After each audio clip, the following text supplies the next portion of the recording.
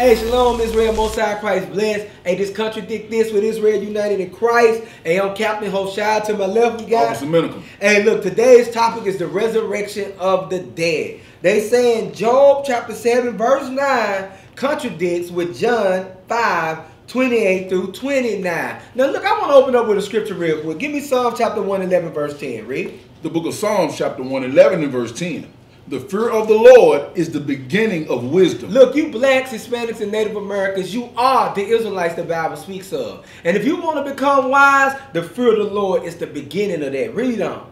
A good understanding have all they that do his commandments. The reason why people think there is so many contradictions in the Bible because they don't keep God's commandments. They don't got a good understanding. Read on.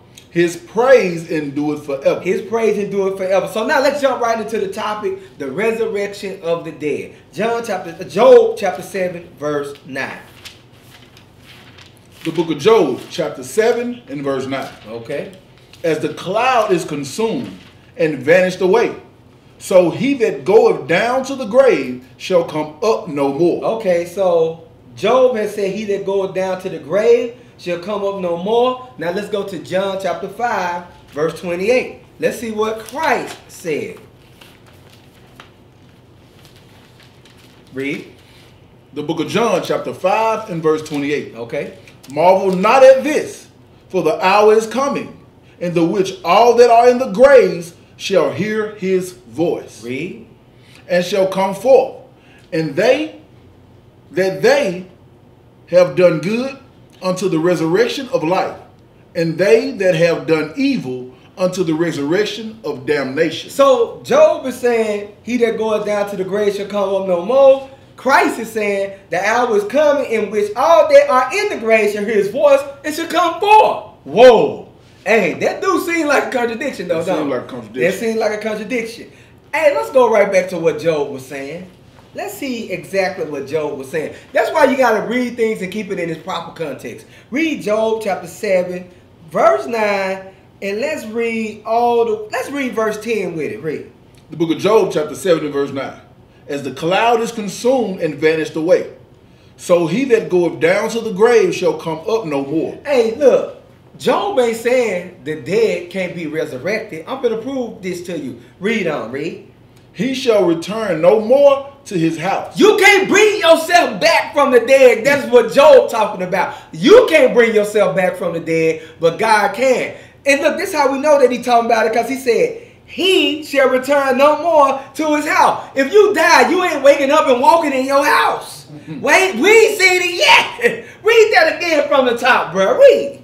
He shall return no more to his house. Read. Neither shall his place know him anymore. It said neither shall his place know him anymore. You ain't going home. You ain't gonna sit up here and die, then wake up and walk into the house. It ain't happening. It's no contradiction here. Now let's prove that Job knew uh, that men can be regenerated. Let's go to Job 14 and 14. Let's see what Job say. Job 14 verse 14. the book of Job, chapter 14 14 and verse 14. Read. If a man die, shall he live again? So he asked the question. He said, if a man die, shall he live again? Read. All the days of my appointed time will I wait, till my change come. He said, I'm gonna wait till my change come. I'm gonna wait till my time come to live again. Let's see what change that he's talking about. So Job do believe in regeneration. Let's go from there to 1 Corinthians chapter 15, verse 51. So what Job was saying in Job chapter 7, verse 9, is that a man can't rise himself. He can't bring himself back from the dead. But God got the power to do anything. Let's read that. the First book of Corinthians. 1 Corinthians, chapter 15 and verse 51. Okay. Behold, I show you a mystery. We shall not all sleep, but we shall all be changed. So this the change that Job is talking about, Read. in a moment, in the twinkling of an eye, Read. At the last trump. At the sound of that last trumpet, read. For the trumpet shall sound, And that trumpet will sound, read. and the dead shall be raised incorruptible, Read. and we shall be changed. So this is the change that Job said he waiting on. So there's no contradiction there. And we in the Bible is called regeneration. You know what I'm saying? Uh, people today they call it resurrection. Let's go to Job 19 and 25. Let's get even more proof. Trying to sit up there and say Job 7 and 9 contradicts with what Christ is saying. I'm telling you, man, all you gotta do is keep reading. Now look, hey, if, if you didn't have no understanding of the Bible, you would really be like, oh no, Yeah. like, whoa, this that thing do kind of contradict. it wouldn't make no sense. Yeah, uh, yeah. Now look, keep going. All praise we keep the commandments of God for real. Now what we at? Job 19, verse 25. Read that. The book of Job, chapter 19 and verse 25. For I know that my Redeemer liveth, He said, I know that my Redeemer liveth. Read. and that he shall stand at the later day He said he gonna stand at the latter day. Read. upon the earth. And though after my skin worms destroy this body, Uh-huh. yet in my flesh shall I see God. You see that? He said, look, even if once I die, yet in my flesh, meaning he know that he was going to come back to see God. He knew that he was going to live again. Now, last scripture, 2 Samuel 12 and 23.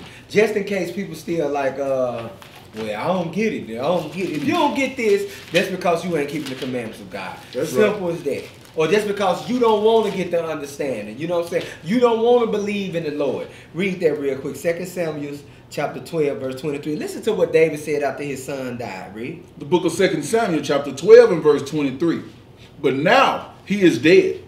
Wherefore should I fast? So after David's son died, he said, now he is dead. Why should I keep fasting? Because people was asking him, like, look, while the child was living, you was fasting and praying every day. Now that he ain't living, now you ain't fasting, you ain't crying no more. Read on.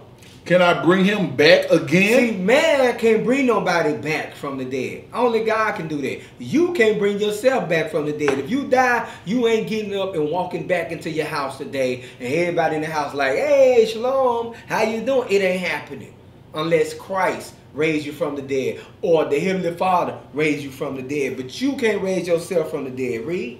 I shall go to him, but he shall not return to me. You see that? He said, Look, I should go to him, but he ain't gonna return to me. Why? Because he can't bring them back again. Only God got the power to do that. With that, and we gonna say Shalom, Most High Christ bless. Pray and hope this was ed- edifying. Hey, now contradict this. We used to scream black power while Heron was pushed. But at the end of the day, nothing's in vain. IUIC has been given a vision. The tents of Judah has risen. Many has attempted the mission, minor murmuring, omitting, and missing the mark. Just reading that he had the flame of fire in his eyes gave us the spark. We on Paul's mission. We out on the road, purple and gold, from Mexico, Cuba, Haiti, Ghana, Sierra Leone. 144,000 boots banging, concrete crackling. These are how our men repented at heart. The scriptures is proof. IUIC, we deliver the truth.